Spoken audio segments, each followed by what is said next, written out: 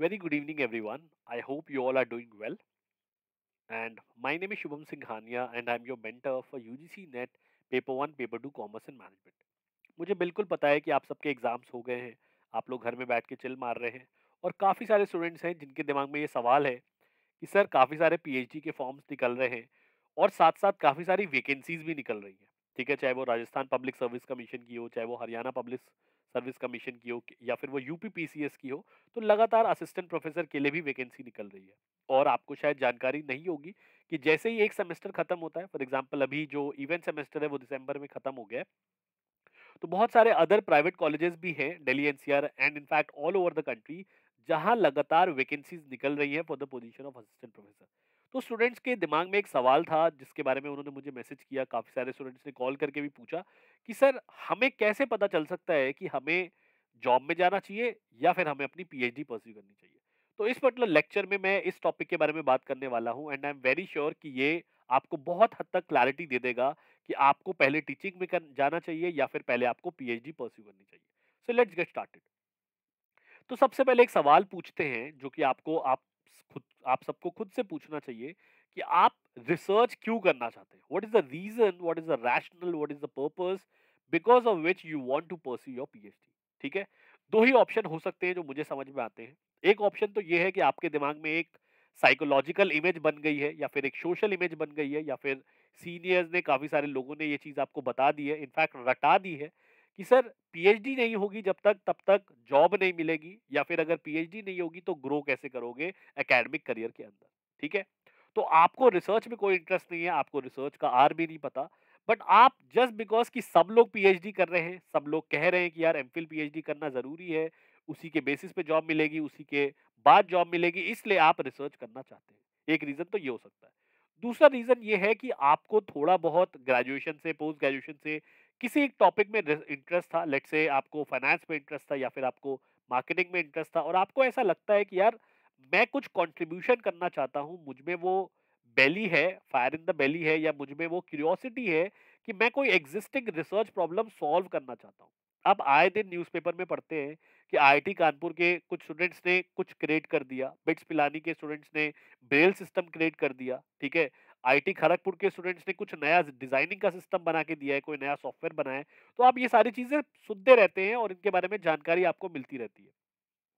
अब ये क्यों होता है? क्योंकि उनके अंदर क्यूरियोसिटी थी कुछ ऐसा क्रिएट करने की, इसलिए उन्होंने मेहनत करी रिसर्च करी और ये सारी चीज़ें क्रिएट कर दी।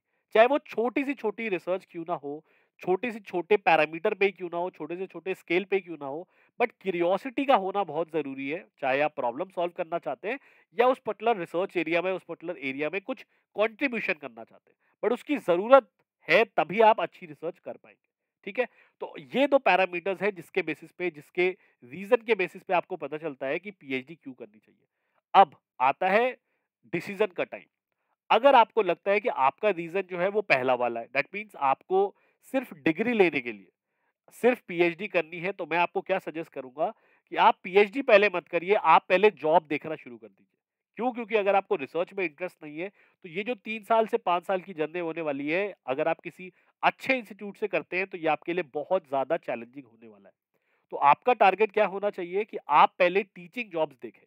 अब आपके दिमाग में एक सवाल आएगा कि, सर, जब इतने सारे लोग ऑलरेडी पीएचडी के लिए प्रेजेंट हैं तो हमें जॉब कैसे मिलेगी? तो यहाँ पे मैं आपको एक रियलिस्टिक एग्जांपल दूँगा।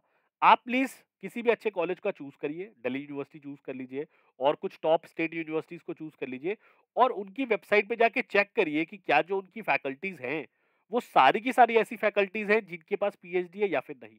मैं आपको विश्वास दिलाता हूँ कि जब आप जाके उनकी वेबसाइट पे चेक करेंगे तो आपको ये पता चलेगा कि उनकी वेबसाइट पे आधे से ज़्यादा फैकल्टी ऐसी है जो नॉन पीएचडी है। ठीक है, उन्होंने सिर्फ़ मास्टर्स करी हुई है, बट हाँ नेट जीआरएफ ज़रूर क्वालिफाई किया हुआ होगा उन्होंने, वो बिल्कुल मैंडेटरी है, ठीक है? तो इसका मतलब क्या है कि अगर आपने नेट जीआरएफ क्वालिफाई किया हुआ है और अगर आपको लगता है कि आपको पीएचडी सिर्फ़ डिग्री के लिए लेना है तो मेरा सजेशन क्या रहेगा कि पहले आप टीचिंग पे फोकस करिए। अब ऐसा नहीं है कि आपने नेट जीआरएफ क्वालिफाई कर लिया तो आपको जॉब मिल जाएगी। मैंने आपको पहले भी बताया था, आपको कम से कम दो से तीन सब्जेक्ट के अंदर एक्सपर्ट नॉलेज होनी चाहिए। अब जब मैं एक्सपर्ट नॉलेज के बारे में बात करता हूँ तो मैं बस ये नहीं कहता कि नहीं, आपने नेट का सिलेबस पढ़ लिया, आपने अपने मास्टर का सिलेबस पढ़ लिया और हो गया। इसका मतलब ये होता है कि कल जब आप असिस्टेंट प्रोफेसर की वैकेंसी के लिए जाएँ, अप्लाई करें और जाके इंटरव्यू पैनल के सामने बैठे तो इंटरव्यू पैनल ये जज कर पाए कि हाँ यार, इसको जो पता है, इस इस पर्टिकुलर सब्जेक्ट के अंदर या जो दो तीन इसके स्पेशलाइज सब्जेक्ट है, वो एवरेज लेवल से ज़्यादा नॉलेज है, ठीक है? तभी वो आपको सिलेक्ट करेंगे, अदरवाइज़ वो आपको सिलेक्ट नहीं करने वाले। ठीक है? तो ऐसा नहीं है कि सिर्फ़ आप नेट जीआरएफ क्वालिफाई करके चले जाएँगे तो आपका सिलेक्शन हो जाएगा। कम से कम दो से तीन सब्जेक्ट में आपको स्पेशलाइज एक्सपर्ट लेवल नॉलेज लेनी होगी, ठीक है? तो आपको यहाँ पे ये जवाब मिल गया कि अगर आप सिर्फ़ डिग्री के लिए करना चाहते हैं तो आपको पहले टीचिंग पे फोकस करना चाहिए, ठीक है? अब मैं ये आपको बिल्कुल नहीं कह रहा हूँ कि आपको पीएचडी करनी ही नहीं पड़ेगी, वो तो करनी ही पड़ेगी, आज नहीं तो कल। अब उसका सॉल्यूशन क्या है? मैं आपको सॉल्यूशन भी साथ साथ बता देता हूँ। अभी आप पहले जॉब लेने पे फोकस करिए एटलीस्ट सिक्स मंथ क्योंकि अल्टीमेट ऑब्जेक्टिव तो आपका टीचिंग में ही जाना है, आप वही पैशनेट है टीचिंग करने के लिए। तो आप क्या कर सकते हैं, पहले आप टीचिंग के लिए इनरोल कर लीजिए, छह महीना टाइम लगाइए और कोई जॉब देखिए जहाँ पे आप लेक्चरर या फिर असिस्टेंट प्रोफेसर की तरह काम कर सकते हैं। एक बार जब आपको जॉब मिल जाएगी तो आप कहाँ अप्लाई कर सकते हैं, आप किसी भी कॉलेज में अप्लाई कर सकते हैं, किसी भी यूनिवर्सिटी में अप्लाई कर सकते हैं बट पार्ट टाइम पीएचडी के अंदर। अब मैं आपको यहाँ पे एक जानकारी दे दूँ कि जो भी यूजीसी का रेगुलेशन है, वो कहीं पे भी ये मेंशन नहीं करता है कि आपकी जो पीएचडी है वो पार्ट टाइम होनी चाहिए या फिर फुल टाइम पीएचडी होनी चाहिए। चाहे वो दिल्ली टेक्नोलॉजिकल यूनिवर्सिटी हो या वो एफएमएस हो या वो आईआईटी हो, इन सबके पास ऑप्शन अवेलेबल है कि ये फुल टाइम कैंडिडेट्स भी लेते हैं और ये पार्ट टाइम कैंडिडेट्स भी लेते हैं। बट पार्ट टाइम कैंडिडेट सिर्फ़ वही हो सकते हैं जिन्होंने कहीं पे जॉब कर रहे हैं।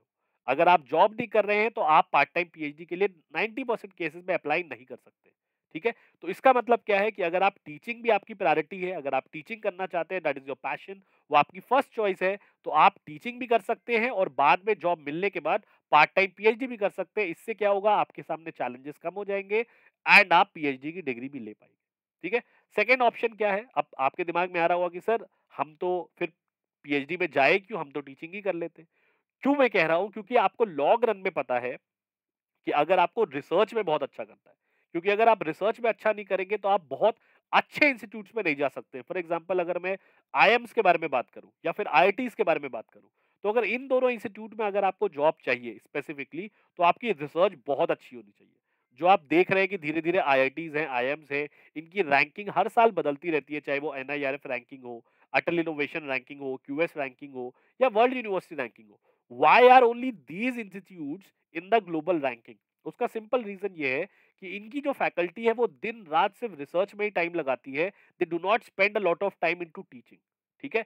तो इसका मतलब क्या है कि अगर आपको लगता है कि नहीं सर, हमें टीचिंग से नहीं मतलब है, हमें तो इन टॉप इंस्टीट्यूट में ही जाके पढ़ाना है इन्हीं इंस्टीट्यूट में हम पढ़ाना चाहते हैं, इसी इंस्टीट्यूट में हम वर्क करना चाहते हैं, तब मैं आपसे क्या कहूँगा, और साथ साथ आपको रिसर्च में इंटरेस्ट भी है। दोनों चीज़ें होनी चाहिए, सिर्फ़ ये नहीं होना चाहिए कि आपको इन टॉप इंस्टीट्यूट में पढ़ाना है। अगर आपकी रिसर्च अच्छी होगी, तभी आपको इन इंस्टीट्यूट में सिलेक्ट किया जाएगा, अदरवाइज़ आपका सिलेक्शन नहीं होगा। जो प्रोफेसर जो फैकल्टी इन टॉप इंस्टीट्यूट में पढ़ा रही है आप उनकी प्रोफ़ाइल जाके देखिए, आपको खुद पता चलेगा कि टीचिंग से ज़्यादा असाइनमेंट उसके अंदर आपको रिसर्च पेपर्स दिखेंगे। हर साल के कम से कम पाँच से दस रिसर्च पेपर्स आपको दिखेंगे, जो एक नॉर्मल फैकल्टी किसी इंस्टीट्यूट में रह के नहीं लिख पाता है। ठीक है? तो यहाँ से आपको क्या पता चल गया कि अगर या तो आप इन टॉप इंस्टीट्यूट में पढ़ाना चाहते हैं, या तो आप क्यूरियस हैं, आप पैशनेट हैं रिसर्च करने के लिए तो ही आपको फुल टाइम पीएचडी के अंदर इनरोल करना चाहिए। ठीक है? Otherwise you can go for a teaching job and then आप पार्ट टाइम पीएचडी के लिए इनरोल कर सकते हैं। ठीक है? तो आई होप कि आपको इस वीडियो से क्लैरिटी मिल जाए, इस वीडियो से आपको डिसीज़न मेकिंग लेने में आसानी हो जाए कि क्या आप टीचिंग करना चाहते हैं या फिर PhD my suggestion would be कि don't look into others कि बाकी लोग क्या कर रहे हैं सोसाइटी क्या कर रही है, लोग क्या कह रहे हैं। अपना खुद जजमेंट लीजिए प्रॉपर एनालिसिस करके शॉर्ट एनालिसिस करके कि आप लाइफ में क्या करना चाहते हैं because it is your life it is your career आपका जाएगा, बाकी किसी का कुछ भी नहीं जाएगा अगर आप गलत डिसीज़न ले लेंगे। ठीक है? और प्लीज़ प्लीज़ प्लीज़ इस टाइम को वेस्ट मत करिए। अभी जो आपको टाइम मिल गया है because result are not out और काफ़ी सारे स्टूडेंट्स का पढ़ने का मन नहीं करता तो एटलीस्ट थोड़ा सा टाइम लगा के ये चूज़ कर लीजिए, ये डिसीज़न ले लीजिए कि क्या आपको आगे टीचिंग जॉब देखनी है? एक बार नेट जे का रिज़ल्ट आ जाता है या फिर आपको पीएचडी के लिए अप्लाई करना है, ठीक है? और अगर आपने ऑलरेडी अपना मन बना लिया है तो प्लीज़ पीएचडी के फॉर्म्स खुले हुए हैं, बहुत सारे आई के स्टार्ट अप्लाइंग और टीचिंग के लिए भी वैकेंसीज आई हुई है बहुत सारे government colleges and private universities की वेबसाइट पे start applying so that was all for today. अगर आपको इस वीडियो से हेल्प मिली है, do hit the like button, do subscribe to the channel. Will continue to come out with such informative videos for you all. That was all. Thank you and bye